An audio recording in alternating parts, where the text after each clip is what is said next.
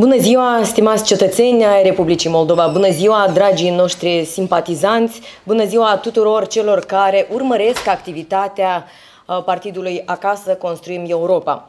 Vă mulțumim că ați dat curs uh, invitației noastre de a fi prezenți astăzi și de a ne urmări conferința de presă cu titlul Violența împotriva membrilor PACE. Vrem să vă spunem că la un moment dat ajunge cuțitul la os și uh, ieși, îți expui acest, uh, această durere, acest păs pentru ca să te audă cetățenii. Și astăzi vrem asta să facem. Să ne audă toți cetățenii Republicii Moldova despre dezmățul, mizeria și dezordinea care se întâmplă în campania electorală. Pace solicită ca CEC să stopeze incidentele violente din campania electorală din anul 2021 din această vară. În weekendul care a trecut s-au înregistrat mai multe incidente violente în care au fost implicați membrii PACE. Întrucât constatăm că aceste lucruri fac parte dintr-o strategie bine gândită de intimidare a liderului partidului Gheorghe Cafcaliuc și a celor care îl sprijină, adică membrii și simpatizanții PACE. Am decis să cerem CEC să intervină cât mai repede de putință în această situație, care este deja la limita răbdării. Astfel, Sâmbătă începem cronologic cu tot ceea ce s-a întâmplat cu noi. O femeie membru al Partidului Politic Pace a fost agresată fizic, iar alt membru al formațiunii s-a ales cu telefonul mobil stricat, cu îmbrânceli și cu deteriorări de alt ordin a elementelor definitorii din uh, componența mobilului, telefonului mobil. De ce întrebarea noastră este? Pentru că au încercat să intre pe stadionul sportiv municipal din Bălți, unde se desfășura un meci de fotbal. Simplu, dragi cetățeni, doar au vrut să intre în calitate de microbiști, să privească, să urmărească un meci de fotbal. Și aici le-am stat ca un os în gât cuiva. Nu știm cui, dar vom înțelege. Știm de fapt. Paza particulară a îngrădit accesul membrilor pace pe stadion sub pretextul că acestea sunt regulile Federației de Fotbal. Noi nu credem că Federația de Fotbal încurcă microbiștilor să vină să strigă ole ole sau succes campionul.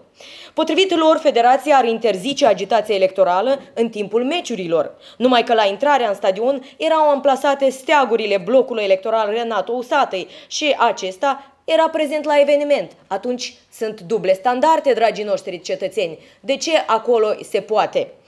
Membrii PACE nu aveau niciun material electoral și veniseră să privească meciul simplu ca simpli microbiști, fără steaguri, fără pancarte și fără lider.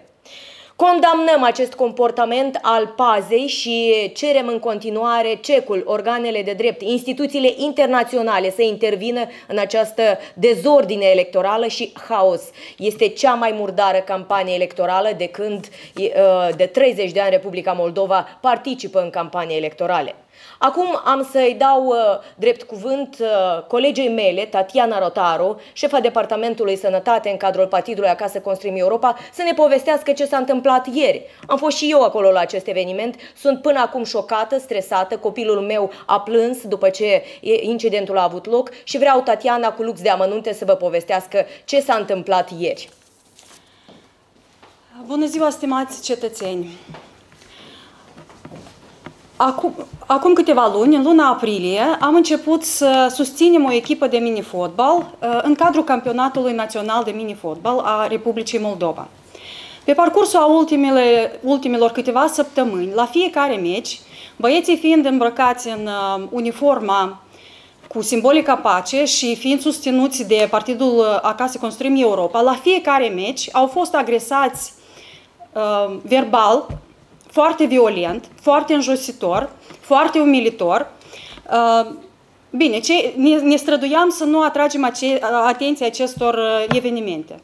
Dar ieri, în timpul meciului, s-a recurs deja chiar și la violență fizică. Deci nu vorbim astăzi despre niște incidente sporadice, vorbim de o serie de cazuri de atacuri fizice asupra membrilor pace sau asupra simpatizanților pace. Condamnăm aceste evenimente și cerem uh, autorităților să ia măsuri cât mai rapid și cât mai eficient, deoarece dacă astăzi concurenții noștri electorali se comportă în așa mod, vin cu pumnii, ce vor face atunci când ajung la, la guvernare? Noi vrem o campanie electorală echitabilă și liberă pentru fiecare. Vă mulțumesc!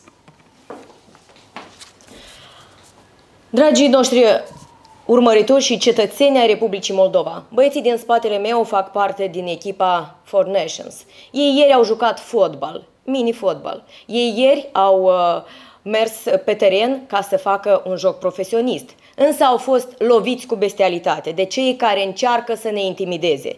Ei nu poartă nicio vină, ei doar vor să promoveze sportul, ei vor să promoveze regulile corecte într-un joc de mini-fotbal. Iar în această situație, când vii cu pumnul și îi dezbați nasul sau îl lovești în uh, umăr, nu înseamnă fotbal, nu înseamnă regula Federației de Fotbal, înseamnă înjosire, intimidare și dezmăți pe terenul de fotbal. Este groaznic prin, treci, prin ce trecem în această campanie electorală. O considerăm cea mai murdară campanie electorală, destructivă, cu elemente grave, încălcări crase, duble standarde, intimidări și amenințări asupra echipei pace.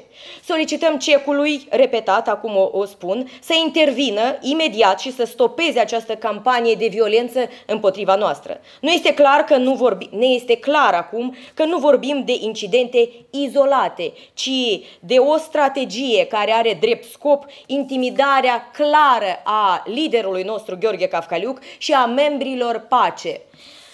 Și vreau să vă mai zic un lucru. Astăzi, vedeți în fața dumneavoastră, sunt în însemnele și în hainele care merg zilnic în campania electorală să vorbesc cu alegătorii, să transmit mesajul pace, programul nostru electoral, tot ceea ce ne dorim să se întâmple în Republica Moldova cu noi, cu cetățenii Republicii Moldova, cu statul Republica Moldova, în comparație cu tot ceea ce promovează concurenții noștri electorali. Și de azi înainte, dragii noștri și concurenți electorali și cei care au pus la cale această strategie de intimidare. Voi merge și la magazin să-mi cumpăr pâine cu chipiul pace, cu acest mai pace, cu masca pace și dacă mai găsim niște însemne pace, le voi pune și pe alea pe mine.